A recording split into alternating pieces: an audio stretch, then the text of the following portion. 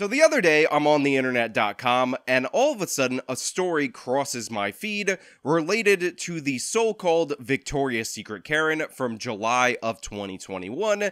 And this article explains in great detail that the woman at the heart of this video was not, in fact, an evil white racist, that this was a wild misunderstanding, and more importantly, she was actually suffering from a developmental disability, which we'll get into a little bit later.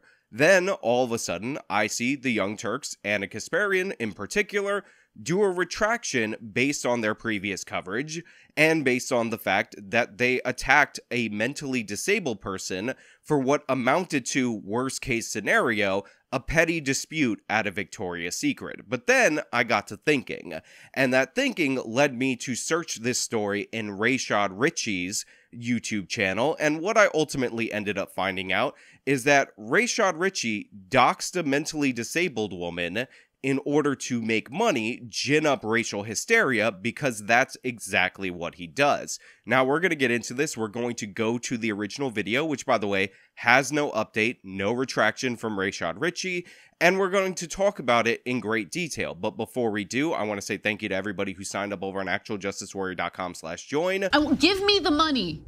Give you give me the money. Okay. And thank you to the podcast listeners, Spotify, Apple, and Google's podcasting platform. Remember, I've talked about how Karens of the world, uh, the reason why they feel empowered is because typically there has been this hand in glove relationship as it relates to Karens and cops. So they will weaponize their Karenicity because the responding police or whoever comes as an authority figure will typically take the side of the Karen. Well, case in point, fake fainting Karen. Ladies and gentlemen, I wish a Karen would. So the way that Rashad Richey opens this is with a ridiculous premise that these Karens are out there and they're working hand in glove with law enforcement in order to weaponize their Karenicity in order to go after black people because the police always take the sides of the Karens. And of course, he repeats this uncritically. This came out the day that the full video came out. We actually highlighted this Karen briefly yesterday, but we did not have all of the video yet. Now we have a lot more. He did a video the day before based on partial video that was released, and we could tell by the title the angle that he's coming from, which is Karen fakes tears during assault. Fakes and tears, by the way in all caps. And yeah, this is a long-standing pattern from Rashad Richey, who is desperate to find evil white racism. He's desperate to profit off of evil white racism. However, the supply is nowhere near his enormous demand for these kind of stories. So what he's reduced himself to in his infinite pathetic mediocrity is going after viral videos without context of people getting into petty arguments and trying to blow them up into national stories. And of course, much like the city by Karen, which was an absolute lie, a fraud perpetuated in part by Rashad Richey, he decided to go that one step further and release this woman's place of employment along with her full name in an effort to get her fired. Ladies and gentlemen, this incident occurred in Short Hills Mall in Millburn, New Jersey, where police refused to escort a violent and aggressive and disorderly Karen out of a Victoria's Secret, okay? So this is the setup from Rashad Richey. This woman is violent, she is aggressive, and the police refuse to escort her out of Victoria's Secret. And obviously this is because the police allegedly are in fact evil white racists and they're working for the evil white racist system on behalf of this woman who is violent and attacking people allegedly but you know whatever it doesn't really matter Rashad Richey found a viral snippet of this woman's life. So that's enough to go on in order to attack her, call for her firing, release her place of employment, and try to get her fired and her life ruined. They told the black female who was attacked that there is nothing they can do. They are not escorting this violent individual away from the store or off the property. So Rashad is making a big deal out of the fact that the police said there was nothing they could do in this instance. They couldn't escort this woman out. And by the way, this was largely due to the fact that Victoria's Secret didn't want to throw her out and mall security didn't want to throw her out and she hadn't actually committed a crime despite what Rashad Richey is implying right here. Oh God, no, excuse, excuse, uh, uh, uh, uh, now you, uh, oh my God, you, oh my God. Do you see this? Oh my God, I've never, I never thought nothing like this would happen to me. She just tried to run and hit me. Don't record don't, don't.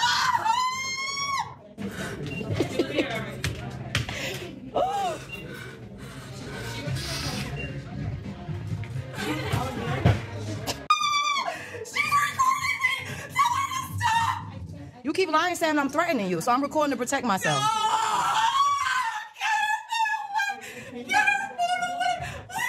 There's a few things that you need to notice about this right here. First and foremost, this woman does not want to be recorded. That is why at the beginning of the video, she is swiping at the phone in order to prevent herself from being recorded. By the way, this is not an unreasonable ask. You are in a Victoria's Secret. It is an underwear store. It is a private location. I know it's open to the public, but it makes sense for her to not want to be recorded, especially when you think about the reasons and what ultimately ended up happening. The second thing that you'll notice is that she's acting really erratically. Obviously, it seems like it's over dramatic or it might be indication of something wrong mentally. It turns out it was true. It is something wrong mentally, which we'll talk about in a minute. But thirdly, the woman recording is laughing at her. This whole video is being presented as that woman on the ground is a danger to this black woman, but this black woman is enjoying every aspect of this story. But Rashad Richey actually gets a lot worse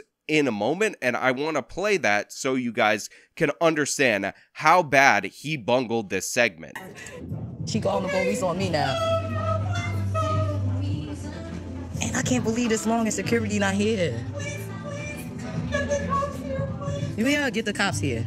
This how black people be dying. You see this? Now it says right there that Victoria's Secret Karen used white tears on the police. Again, you could see that she's in distress. You could see that she's acting abnormal. You could see that the black woman behind the camera isn't exactly threatened by this person. And she keeps saying, stop filming me. Now, I will tell you that what is going on here is in fact a mental breakdown from somebody who is in fact developmentally disabled. And when you think about that, you can kind of understand why somebody doesn't want their mental breakdown to be filmed by a woman who intends to post this on social media, who is laughing about this, and who clearly and obviously has no care in the world for the mental health of the person that she got into this petty dispute with. You gotta get the cops here.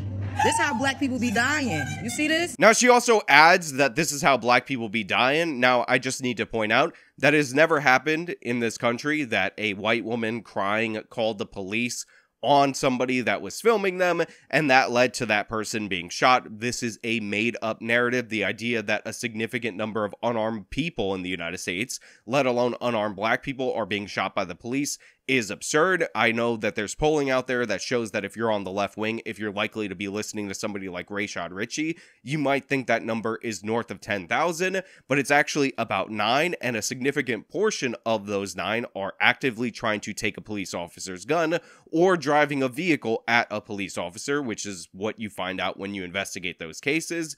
But again, I just want to point out that this woman is in no danger at all whatsoever. She's laughing and she's filming somebody for 15 minutes having a freak out. She is not suffering from a mental health disorder. Uh, I know that some people will look at that and, and assume so. Um, she's a teacher's aide at a school called Cedar Grove.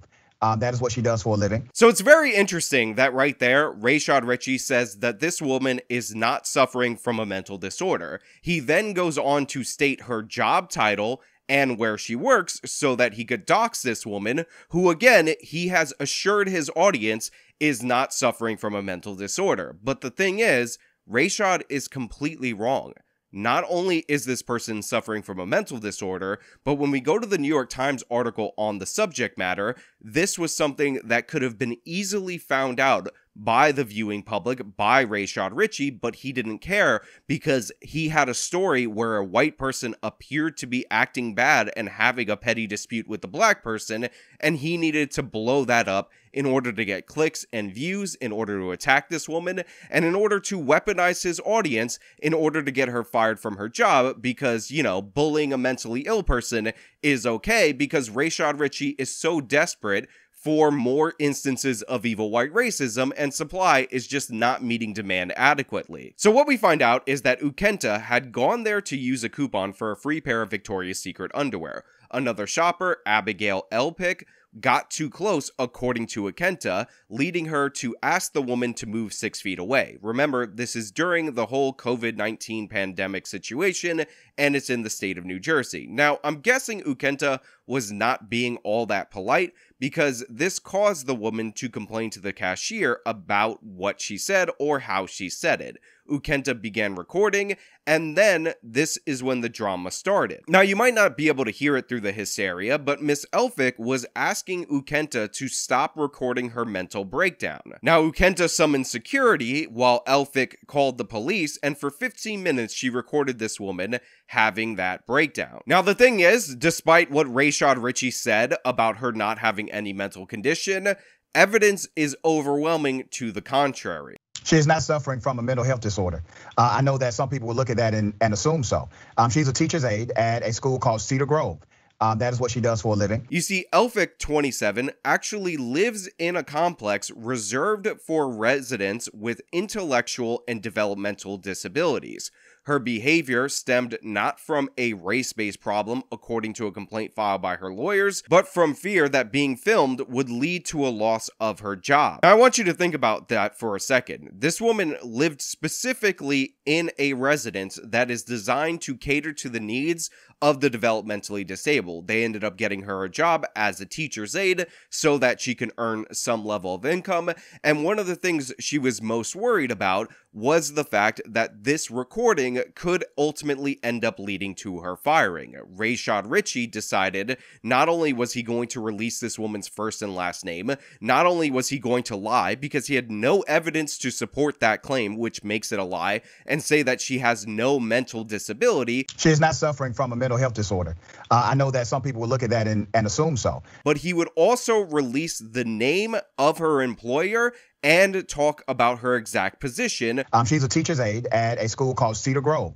Um, that is what she does for a living. Which is, by the way, his intentional move in order to get this woman fired. So her fear was 100% founded because race hustlers like Rashad Richey, who are looking for a quick buck, looking to profit off of the racism narrative, decided to do exactly what she was worried about. So even this mentally disabled person was aware enough of the consequences of being white and getting into a petty dispute with a black person who of course is going to release her own context for the video, and this ultimately ended up being exactly what Rashad Richey decided to do. What happened in that clip you just saw was her attempted assault and perhaps actual assault of a black female patron in Victoria's Secret. As soon as she realized that she was actually being recorded, is when she decided to have a breakdown because she realized that a camera was rolling. Yeah, Rashad, she had a breakdown because A, she was mentally disabled, and she knew people like you wouldn't give a damn about her disability based on the color of her skin, and you would decide to go after her place of employment because God forbid there's ever a petty dispute between a black person and a white person, and God forbid Rashad Richey wait even a second to check any facts before he starts asserting things and releasing this woman's place of employment. When the mall security finally showed up, she explains to the mall security what happened, and it is useless the mall security, they basically do nothing. Now, we don't know the context of this situation. We don't know if the security actually knew this woman, knew she was mentally disabled, but obviously they assumed that there wasn't a big threat to her because you have a woman crying on the ground. This woman pettily is trying to get her escorted out while she's filming her and laughing at her while also playing the victim. The police arrive, and this is how they treat the African American female who has already been assaulted. This woman has chased her around Victoria's Secret. When you look at the full video, this is how the police responded to this black female who was a victim.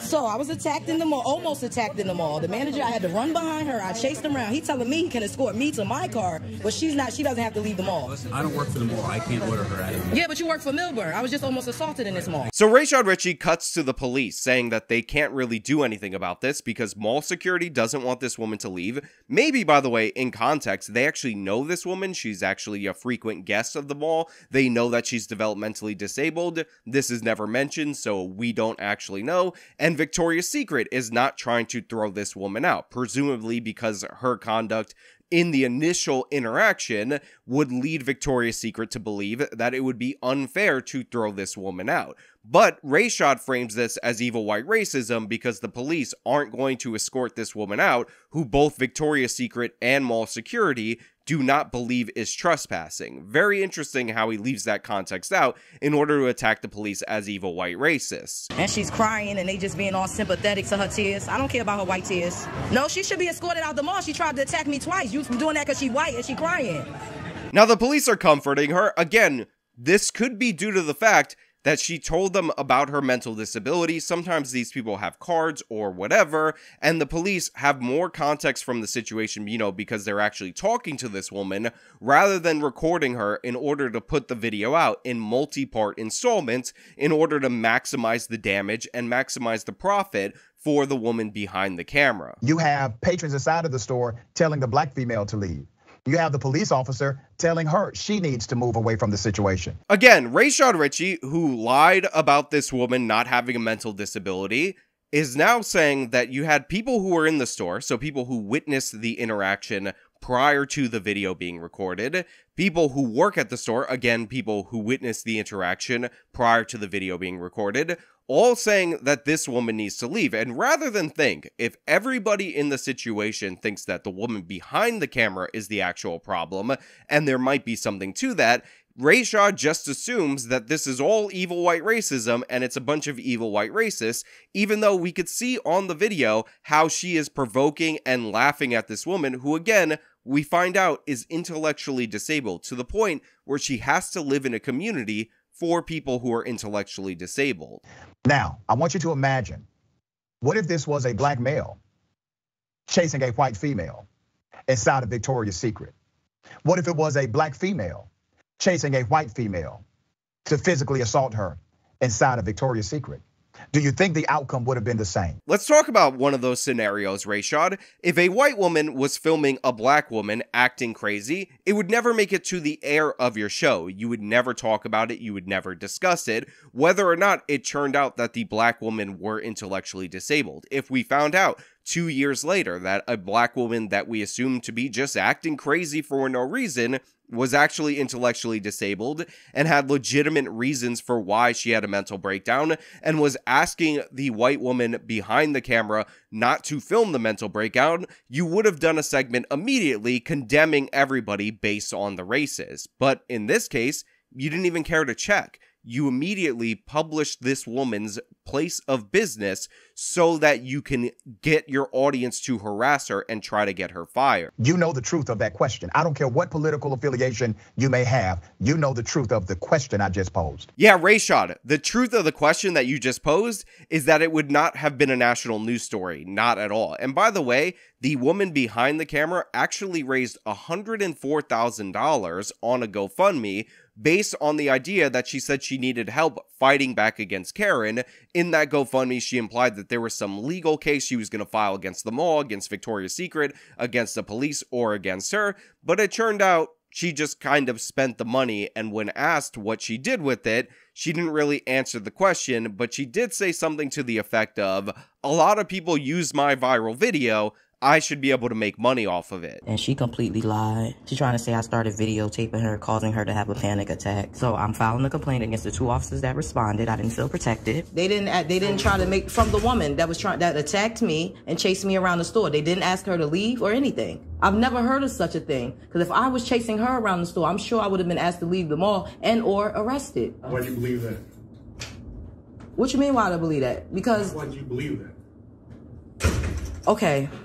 I'm, I, I don't really don't want to play this game again today. You know, this happened to me Saturday. I'm very emotional about it. Now, Rashad cuts to the video of the woman behind the camera going over a police report where the woman says she started to have a panic attack after she was being filmed, which, by the way, is captured on the video. And then she goes into the police station and argues with the officers. Now, At this point in time, I'm going to point out that there are cuts in this video. Obviously, the conversation is significantly longer than what is being portrayed, and I would think at some point in time, the police would have communicated to this woman just based on the address of the woman that she was going after that she was in fact mentally disabled. But this doesn't make the cut of the video. It's completely left out. And again, we have Rashad Richey asserting in the affirmative that she's definitely not mentally disabled when she 100% is. Adrian?